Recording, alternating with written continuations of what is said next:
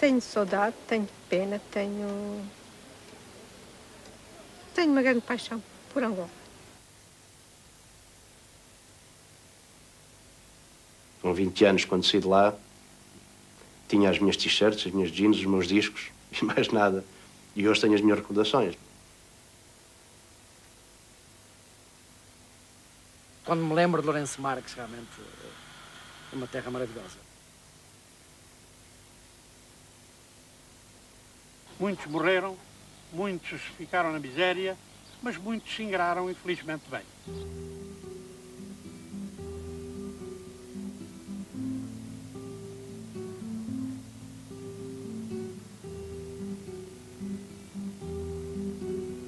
O regime ditatorial português de Salazar e Caetano é derrubado em 25 de abril de 1974.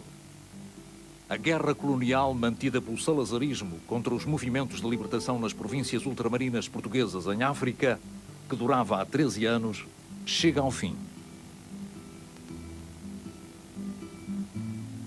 Foi o passo decisivo para a consumação das independências. A pressão internacional exercida sobre o novo poder constituído em Portugal e o desejo de liberdade dos povos colonizados precipitam os acontecimentos a uma velocidade vertiginosa.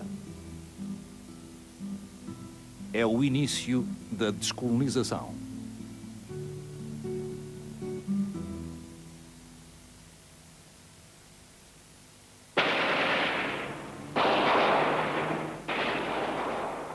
No período que antecede a independência de Angola e Moçambique, instala-se um clima de insegurança e de confrontos que origina a partida precipitada e desordenada dos portugueses que viviam naquelas colónias. Em Angola, as divergências políticas entre os três movimentos de libertação e o clima de instabilidade civil conduz o território a uma situação de pânico e violência incontrolável. Greves sobre greves, quatro altos comissários ou governadores gerais, libertação de centenas de presos de delitos comuns, incidentes gravíssimos nos bocecos de Luanda logo em julho de 74, com centenas de mortes e milhares de feridos, que se traduziram no êxodo de uma parte relevante da população dos bocecos para o interior de Angola, nomeadamente para Nova Lisboa Sul e Malange, a população branca começa a manifestar-se publicamente para ser evacuada. O transporte aéreo começa a ser rarefeito, a TAP manifesta a sua incapacidade de incrementar o transporte aéreo de Luanda para Lisboa.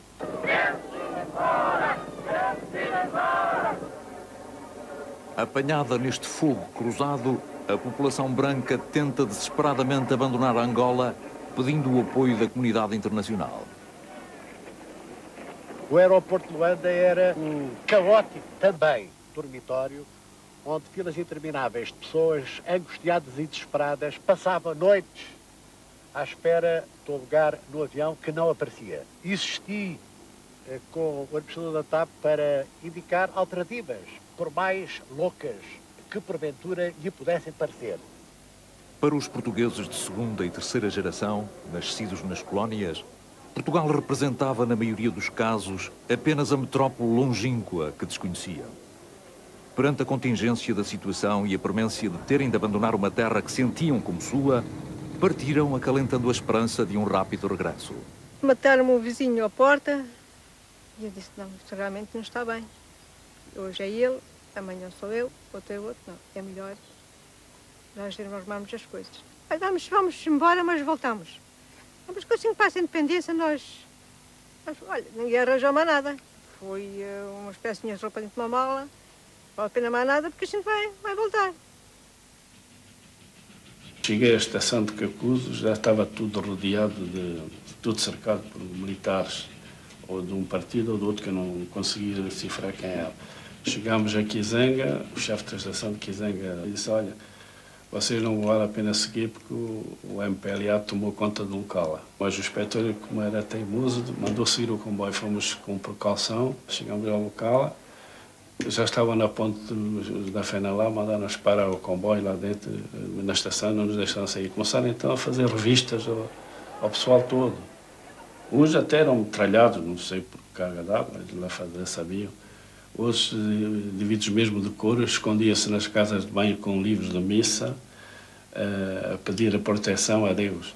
Arranjei uma guia de desembaraço, na altura era guia de desembaraço que arranjava, para vir-me embora de Nova Lisboa para, para Portugal ali. Dei o nome do, dos filhos e deram-nos o número do avião, qual, o avião, e que esse avião é que nos trouxe para Portugal.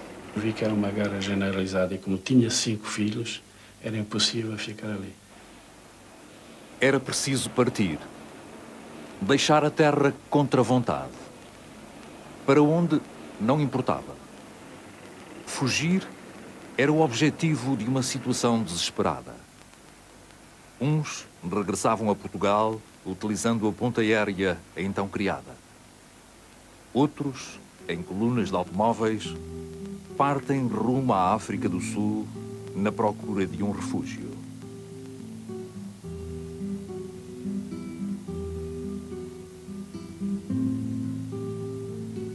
Eu, na altura, tinha sete filhos, uma família muito grande. Estava a lecionar na cidade do Lubito, no Colégio Manel da Riaga, e fomos para a África do Sul. Fugimos dia 15 de agosto e fomos em caravana. Nós, quando chegámos, fomos todos para o Campo 3, que era uma cadeia de alta segurança, porque os sul-africanos pensavam que chegavam 500 ou 600 pessoas e o primeiro embate foram 3.782 pessoas que chegámos a Culinane. Provocada por grupos que pretendiam travar o processo de independência, a tensão política em Moçambique cresce, dando origem a confrontações graves. A Frelimo e o exército português vêem-se na obrigação de evitar o pior. Houve uma efervescência, digamos assim. Os ânimos exaltaram-se e começou em pequenos focos dentro da cidade, Lourenço Marques, mas o grande problema, o grande problema realmente foi na periferia. Vi situações realmente pesáveis. A, a 300, vá, não diria tanto, 200, 300 metros da minha casa, que era a 24 de julho, eu lembro no fundo, na rotunda da entrada, no início da 24 de julho, e vi uma multidão enorme, uma coisa impressionante. Sinceramente, se aquela gente entra dentro da cidade, não sei como não seria. Aí, realmente, os tropas da Fralime e, a nossa, uh, em conjunto, conseguiram controlá-los. Agora, na zona periférica havia muitos, muitos portugueses que foram dizimados, dezenas e dezenas de, de, de famílias. O 7 de setembro que é o dia em que há o acordo de Lusaka, há agitações na cidade, há uma humilhação da bandeira nacional que é arrastada pela rua ou pela avenida principal da cidade à frente de todos, de todos nós. Há uma reação de alguns militares portugueses perante essa, essa cena, que obviamente era chocante. É, isso depois deu origem a uma série de atos e de acontecimentos que eh, acabaram numa violência algo extrema, porque houve morticínios, houve assassinatos, houve pessoas que foram queimadas vivas dentro de carros. Quando saímos, o trajeto eh, foi um bocado assustador, não é? Porque havia muita destruição, havia o cheiro a carne queimada, que é uma coisa complicada, não é? A gente não se esquece nunca, havia hum, corpos eh, enforcados, queimados, de pessoas, de animais, e é uma imagem que nós, na altura, não queríamos voltar a ver, não é? Quando chegámos à África do Sul, aliás, quando chegámos à fronteira, que estava tudo cheio de militares, não é? Frelia, fomos escoltados para Frelia, e realmente era, era um outro mundo. Aí é que nós tivemos a verdadeira percepção da reviravolta que aquilo deu. A imposição da opção da nacionalidade em Moçambique por parte do novo poder emergente originou situações dramáticas para os cidadãos que lá viviam, nomeadamente os de origem africana que trabalharam na administração colonial.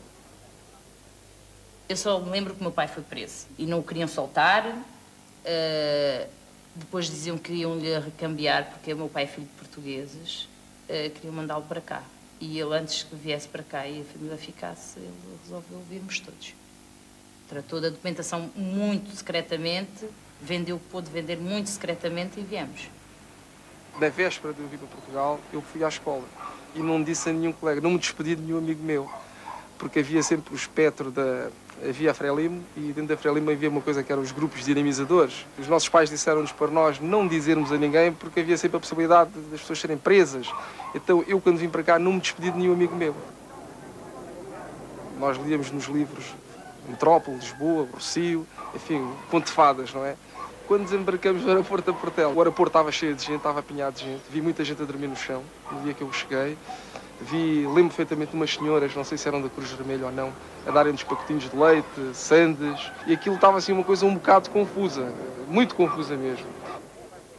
Chegados a Portugal, sem família ou na ausência dela, sem saber o que fazer ou para onde ir, o desalento alia-se à apatia com que a maior parte dos retornados espera uma solução. Todo o aeroporto de Lisboa tinha, tinha pessoas a dormir. Eles tinham que ficar, eh, por exemplo, nas salas de embarque, na sala 22 e 21, propriamente dito que era das salas maiores que havia no aeroporto de Lisboa, eram divididas as famílias. Eh, a TAP entregava muitos cobertores, muitos colchões. Havia casos em que ficavam meses ali eh, à espera. Havia filas, havia, mandavam umas pessoas para um lado, outras pessoas para o outro. A determinada altura, tipo fila indiana, fomos avançando por um, por um autocarro. Uh, disseram-nos que íamos para um sítio qualquer, que não me recordo qual é que era, só depois é que vinha saber que íamos para Oeiras. Vinhamos só com as malas, não tínhamos mais nada, nem sequer aqueles contentores que algumas pessoas trouxeram, nós tínhamos.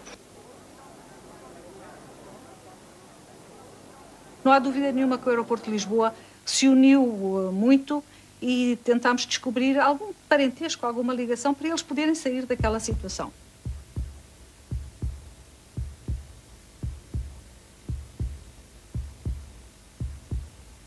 A família, para quem a tinha, era a força e o consolo que restava. Tínhamos familiares nossos à nossa espera, eram os tios. Um, ficámos uns dias aqui em Lisboa a tratar das ajudas que nós eventualmente poderíamos, poderíamos vir a receber. Passados um mês, fomos cada um para a casa de, de familiares. Eu para a casa da minha avó, a, minha, a mais velha foi para a Covilhã, para a casa de um tio meu, e o meu irmão, o mais novo, para a casa da madrinha dele. Ou seja, ficámos, separámos-nos. Pensava chegar a Portugal e encontrar uma coisa diferente, porque em Moçambique falavam muito na metrópole. Eu tinha curiosidade de conhecer a metrópole, que era prédios grandes ou uma coisa, não sei, na minha ideia era uma coisa imensa. Uh, Lembro-me perfeitamente de ter saído no aeroporto, estava assim a chuviscar, olhei a volta, no aeroporto não tinha os prédios grandes, tudo muito estranho, tudo muito frio. Ficámos no aeroporto o dia todo, era miúdo, tinha pai 10 anos, foi, foi muito triste, muito confuso. Sei que à noite apanhamos um, um carro, uma carrinha daquelas de caixa, caixa aberta. Estávamos com umas mantas, embrulhados com umas mantas, e fomos parar a Quinta do Conde a uma pensão.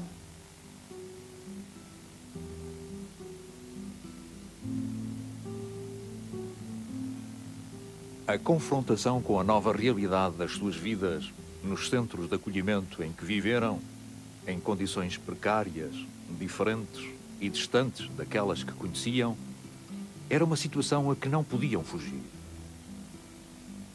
Isolados no seu novo mundo, estranhos numa terra que lhes era estranha, aguardavam silenciosos o desfecho dos seus destinos.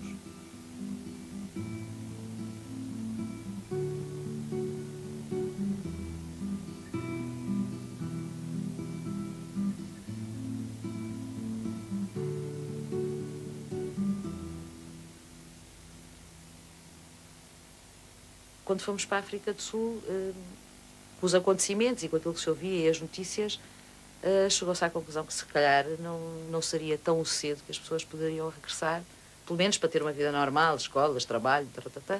Então optámos por vender as poucas coisas que trouxemos, não é? Roupas, livros, discos, aquelas coisas que a gente não larga.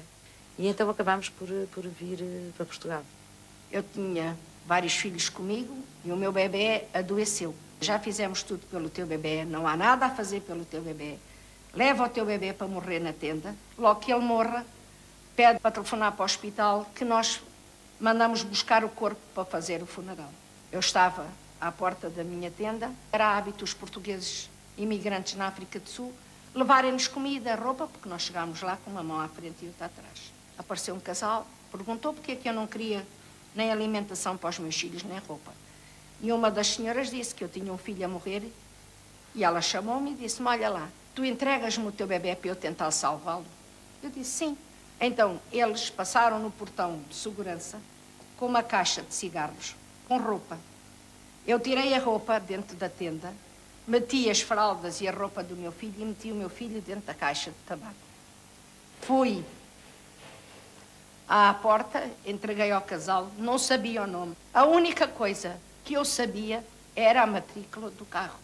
Esse casal apareceu um mês e meio depois com o meu filho no colo, para nós vermos que ele de facto estava vivo. Entretanto, o casal tirou-nos do campo de refugiados, a mim, ao meu marido e aos meus filhos, e então nós viemos para Portugal. Chegámos cá, foi uma desilusão total.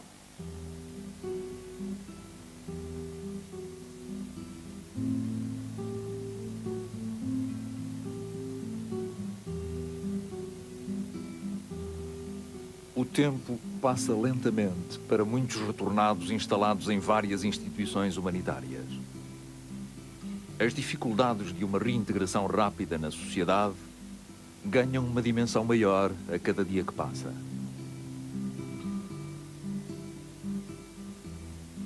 Para alguns, duraram 10 anos.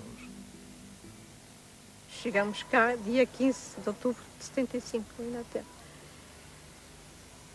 E não havia pavilhão nesse dia, não havia nada. Chegamos à noite, diz a minha tia, olha, vamos dormir cá para o meu pavilhão. Então dormimos oito pessoas dentro de um, de um quarto. Os retornados vieram no ano de 75, em maio de 75, com a Cruz Vermelha. Depois a Cruz Vermelha deixou-os pelo Iarno e tiveram aqui até 77. A partir daí ficaram considerados ilegais aqueles que não saíram. O primeiro Natal que passamos cá, 75, foi doloroso olhávamos uns para os outros, mas não é Natal, não é Natal. O Inatel reconheceu e realmente tentou fazer o melhor, melhorou as refeições, mas nós estávamos a olhar para uns para os outros, todos muito tristes, e acho que nesse dia todos sofreram. A saída deles definitiva daqui foi quando o Inatel ajudou eles a sair, já não foi o IARN, foi o Inatel, é 25 de julho de 85 o Inatel fez tipo um inquérito e, portanto, aqueles que eram considerados legais conseguiram casos, uns para Setúbal, outros para Monte Caparica, casos do Fundo Fomento. Aqueles que eram considerados ilegais, o Inatel não tinha nenhum documento deles. Foi um aviso feito que no dia 25 de julho de 85 isto ia ser tudo demolido.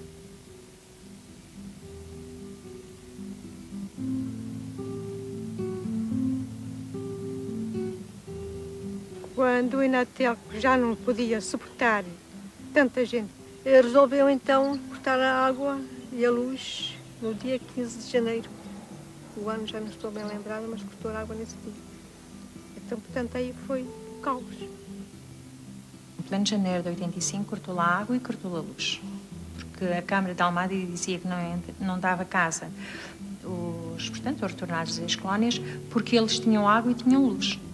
Dois anos naquilo, praticamente, até que um dia o assistente social esteve cá, fez o inquérito, depois demos as casas.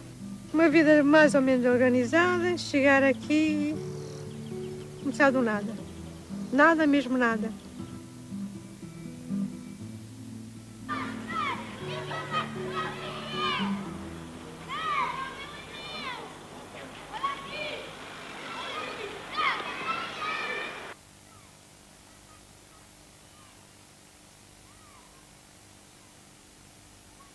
Era aqui que eles ficavam, estas camas eram outras, era aquela cama tipo tropa, e ficavam em cada quarto 10 pessoas. Ficaram cá muitos jovens mesmo a trabalhar connosco como monitores, integrados no, nos, nos, nos, grupos.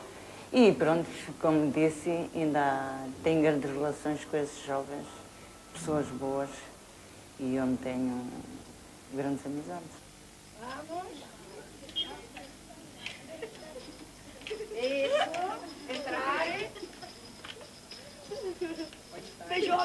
Eu fui integrada no IAR, na Quinta dos Cedros, aqui em cima. Passámos mal bocado, porque viver com oito filhos dentro de um quarto é muito difícil. O quarto era sala, cozinha, casa de banho e dormida. Eu sofri muito, tive muito, muitos contras aqui em Portugal, porque criar tanto o filho como eu criei sozinha é muito difícil. Quando levantaram os andares, eu resolvi ocupar um andar. Fui julgada por isso no Tribunal de Cascais, mas tenho a minha casa. Apesar das dificuldades, a reintegração foi-se fazendo. Os próprios familiares, as pessoas que nos acolheram, começou a haver uma saturação, ali é compreensível até. Acabámos depois de começar a ter eh, mais apoio por parte de amigos do que propriamente da família. Enfim, as coisas complicaram-se. Era preciso comprar livros, chegámos, eh, portanto, a ter que trabalhar. Estudava à noite e trabalhava durante o dia. Os anos foram passando. A expectativa era sempre de que as, para os meus pais que as coisas melhorassem, para nós, para nós voltarmos. Eh, eles diziam sempre, deixem estar, que isto, as coisas estão a melhorar e tal, isto está tudo mais calmo.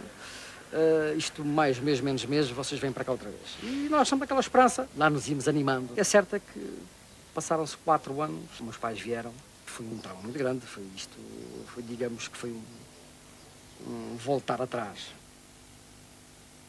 Nós tivemos cerca de cinco anos em Oeiras, de 77 penso que até 82. Tivemos a sorte do meu pai fazer parte do quadro geral dos adidos. Damos ali alguns meses que ele não recebia porque não estava integrado.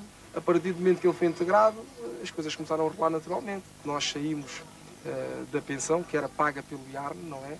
Uh, o meu pai conseguiu uma casa através da Cruz Vermelha, no, no bairro de Linhó, na Cruz Vermelha. Minha mãe também conseguiu entrar para a função pública, uh, trabalha no Liceu de Oeiras. Uh, pronto, as coisas a partir daí, o meu pai a trabalhar, a minha mãe a trabalhar, conseguimos ter, ao fim de 4, 5 anos, as coisas foram se normalizando por si.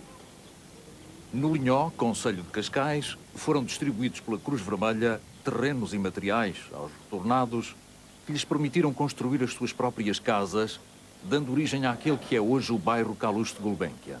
Nessa altura havia uma inscrição para aqui para o bairro da Cruz Vermelha, para cada um fazer a sua casa. E na altura negaram-me, dizer que era funcionário que, que tinha dinheiro. Eu fiquei a olhar para ela, então, eu sou, refugiado de Angola, nasci em Angola, como é que agora não tem direito a fazer a casa como os outros fazem? Ah, o senhor é capaz, sou, sou senhor.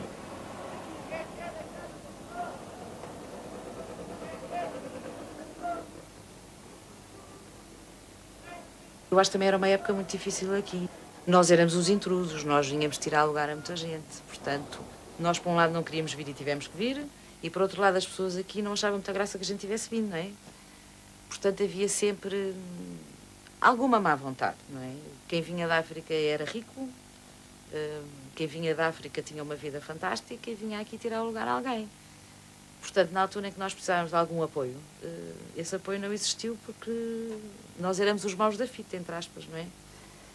E as pessoas eram muito fechadas, muito reservadas. E os africanos, como eu me considero, não são assim, são pessoas abertas e falam nas coisas, se não gostam, não gostam, mas não fazem números, não, não tentam dourar a pílula para, para por trás apunhalar, que era um bocado o que acontecia.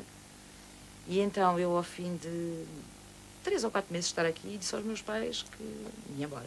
E que aqui não conseguia viver porque não me adaptava ao tipo de mentalidade das pessoas. E fui para o Brasil. Portugal, recentemente saído de um regime de opressão, atravessa social e politicamente um período conturbado. O retorno a Portugal de cerca de, de, mais de um milhão de cidadãos teve um impacto muito grande na, na sociedade portuguesa. Mas esse impacto, curiosamente, foi bem eh, digerido. E, e, para nós verificarmos uh, a dimensão desse impacto, uh, basta pensarmos que o retorno de 600, 700 mil cidadãos uh, a Portugal naquela época representa, em termos percentuais, a mesma coisa do que transportarmos toda a população do Canadá, em cerca de um ano, para os Estados Unidos.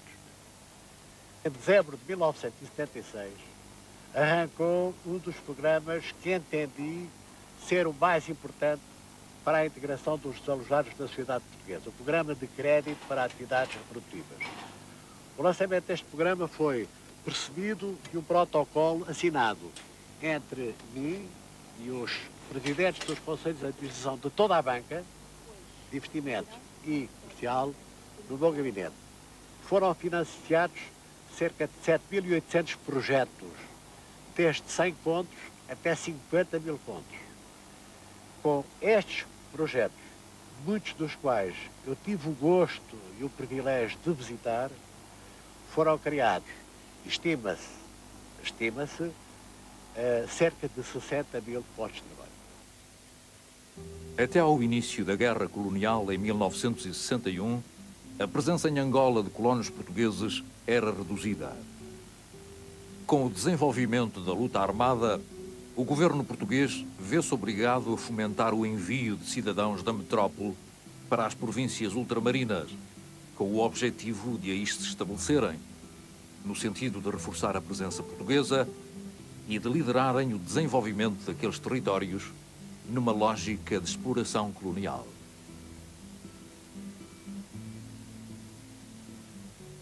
Próprio regime anterior nunca deu a conhecer aos portugueses o que é que representava o ultramar para Portugal.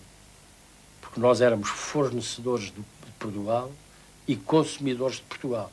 E precisamente por isso, e, e talvez por essa mentalidade, talvez por uma questão económica, Portugal ou os nossos governantes não queriam que o ultramar fosse, fosse independente. O governo português não pode mais iludir a realidade e prepara-se para a guerra. O desembarque dos primeiros contingentes militares ocorre em Luanda em 1961. É o início de um período de 13 anos que vai lançar Portugal numa prolongada e desgastante guerra colonial. Não vejo que possa haver descanso para o nosso trabalho, nem outra preocupação que a de segurar com uma das mãos a charrua e com outra a espada, como durante séculos usaram nossos maiores.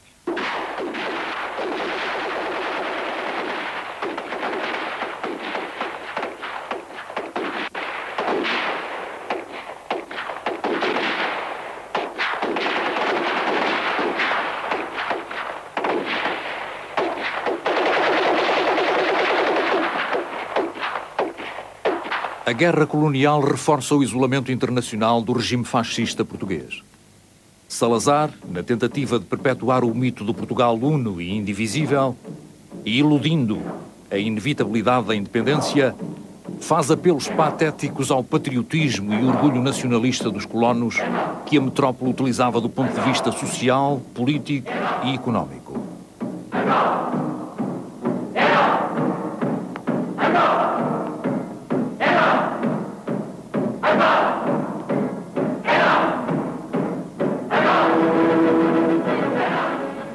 Há dois anos, esta fazenda foi assaltada pelos terroristas vindos do exterior e danificaram eh, bastante. Queimaram esta casa que estão a ver agora arranjada, queimaram os acampamentos e hoje está a casa já arranjada porque nós temos que permanecer aqui, quer queiram, quer não, nós portugueses, portugueses nascidos aqui, portugueses nascidos na metrópole, temos que permanecer cá.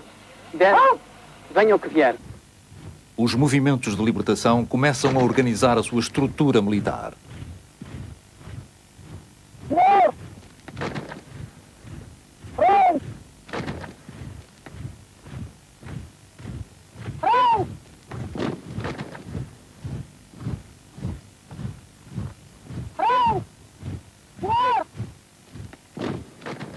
Pois eu considero que o Estado português tem uma dose de responsabilidade na altura, nós, quando lá estávamos, os embaixadores do governo que iam a Moçambique gritavam-nos aos ouvidos: aqui é Portugal. Era a frase. Quando queríamos transferir algumas economias, não nos deixavam. Eu via com dificuldade, por vezes, tinha dificuldade em meter quase cunhas para pagar revistas que eu assinava nos Estados Unidos ou noutras áreas em que tinha que pagar com dólares, quatro ou cinco ou meia dúzia de dólares, eu tinha dificuldade em transferir moeda, não podia transferir. Tinha, tinha que, portanto, obrigatoriamente aplicá-las lá. Um país que na altura tinha 10 milhões de negros e tinha 200 mil brancos, tinha que preparar quadros para dirigir quadros negros para dirigir aquele país. Toda a gente sabia isso. Toda a gente contava com isso. Simplesmente, as autoridades do governo deviam acionar esse movimento, não o faziam e estava tudo na paz podre, que a coisa quanto mais tarde melhor, vai durando, continuávamos a ter os nossos negócios com metrópole, importávamos o vinho da metrópole, chegava lá sabe Deus como, a metrópole importávamos o algodão e o açúcar, e enfim, isso, e a coisa tinha que funcionar e funcionava. Mas funcionava mal, porque tanto brancos como pretos sabiam, sabiam que ia ser independente. Veio independência muito bem, mas veio mal. O meu sonho como moçambicano era de uma independência de Moçambique, mas onde pudéssemos todos, moçambicanos e não moçambicanos, brancos e pretos, pudéssemos continuar a viver, continuar a trabalhar e a trabalhar para aquela terra. A exploração colonial, como é referida, era mais uma exploração de uma natureza macroeconómica do que propriamente das pessoas que estavam lá a trabalhar. E digo isto porquê? Porque Portugal, nessa altura, vivia essencialmente de matérias-primas que vinham de, das colónias a preços abaixo do mercado. E com isso sofriam as populações locais, porque viam o seu trabalho uh, pior remunerado. E, por outro lado, Portugal pagava com produtos de industriais de baixa qualidade que dificilmente poderia vender noutro sítio. E esta interligação que se foi desenvolvendo durante o poder político de Salazar eh, enfraqueceu quer a estrutura económica de Moçambique, quer a própria estrutura económica de Portugal. E, e ambos os países vieram posteriormente a sofrer os efeitos disso. E Moçambique está eh, com grandes dificuldades, embora obviamente também faça esse percurso, para reconverter toda a sua economia, portanto, ser economicamente sustentável. Em Angola, apesar do clima de guerra civil, a independência foi proclamada no dia 11 de novembro de 1975.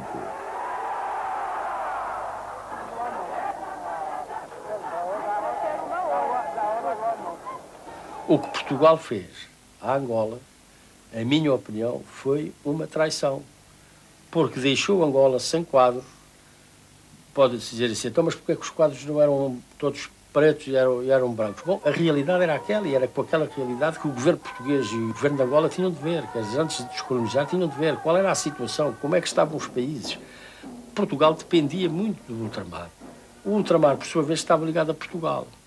A proclamação da independência de Moçambique teve lugar a 25 de julho do mesmo ano e decorreu sem incidentes. Povo moçambicano, em vosso nome às 0 horas de hoje, 25 de junho de 1975, o Comitê Central da Frelimo proclama solenemente a independência total e completa de Moçambique.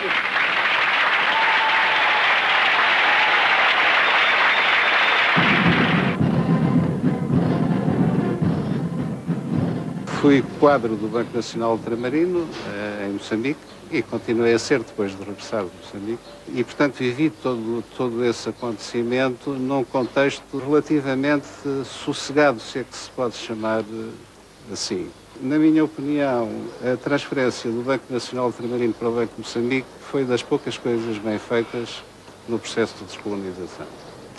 Porque em Lusaka foi feito um acordo que previa a transferência do banco num período de cinco anos Durante cinco anos, o Banco Nacional Ultramarino garantia o funcionamento da instituição e, e, os quadros e o pessoal do banco era substituído a uma média de 20% ao ano, para, enfim, para fazer os cinco anos, por quadros locais, por quadros moçambicanos. Isto aconteceu mais por iniciativa da própria Frelimo do que por iniciativa de, de Portugal. A Frelimo tinha indicações de que era preciso que o sistema financeiro continuasse a funcionar a Frelimo precisava que o banco continuasse a funcionar e por isso se preocupou em negociar em Lusaka uma solução para o banco que garantisse o seu funcionamento. Se tivesse feito a mesma coisa, eh, digamos até para a próxima transferência do poder político, se tivesse havido uma programação a cinco anos, no mesmo estilo, numa substituição progressiva de quadros, eh, eu acho que algumas coisas que aconteceram poderiam ter sido evitadas. Eu acabei por assinar um contrato de dois anos com a Frelimo e o governo português para ficar em Moçambique dois anos a preparar o meu substituto. Passado um ano, eh, eu quis-me vir embora e pedi para rescindir o contrato. Vim-me embora porque uh, tudo aquilo que eu tentava defender, coisas que eu tinha colaborado a fazer, coisas que eu tinha ajudado a construir ou que tinha tido mesmo a ideia de se fazerem, eu agora era obrigado a assistir à sua destruição. E isso eu fui dizer, eu não aguento isto de maneira nenhuma. De maneira, modo que não, não, tive, não tinha coragem para lá continuar. Impedidos de efetuar transferências bancárias para Portugal e de trazer das ex-colónias quaisquer valores, de forma a evitar a fuga de riquezas, os retornados viram-se obrigados a abandonar tudo o que haviam conseguido, trazendo apenas os 5 mil escudos permitidos por pessoa.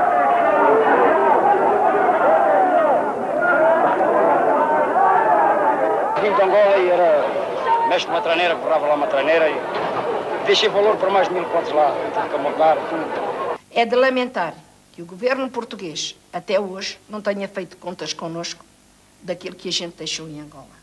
A nossa principal finalidade é conseguir que o Estado português eh, indemnize as pessoas por aquilo que nos forçou eh, a deixar ficar. Nunca pedi nada, a única casita que eu lá tinha foi, era uma coisa muito pequena, sem o facto valor, não deixo, oferecia eu até o preço que lá estava, o preço desta coisa, toma lá conta disto, antes que venham de uma bandeja chave, praticamente não, não, não, não reclamo, não reclamo coisa nenhuma. Nós achamos que o Estado português foi o único responsável por toda esta catástrofe. E, portanto, quem comete o ato é quem deve fazer a indemnização. Quando se gera confusão, há sempre meia dúzia de indivíduos que se aproveitam da mesma confusão para conseguirem coisas às quais nem sequer têm direito.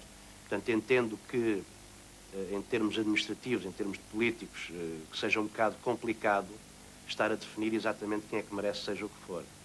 Mas, hum, se calhar há situações que seriam mais facilmente resolvidas do que propriamente as indemnizações e que não foram. Por exemplo, o meu pai trabalhou a vida dele toda, mas como trabalhava numa ex-colónia e como nem sequer era funcionário público, hoje não tem forma nenhuma de provar que trabalhou e não tem nada, não tem ajuda nenhuma do Estado, nem sequer uma pensão de reforma tem. Essas sim são, são situações que eu penso que deveriam ser eh, vistas com mais cuidado.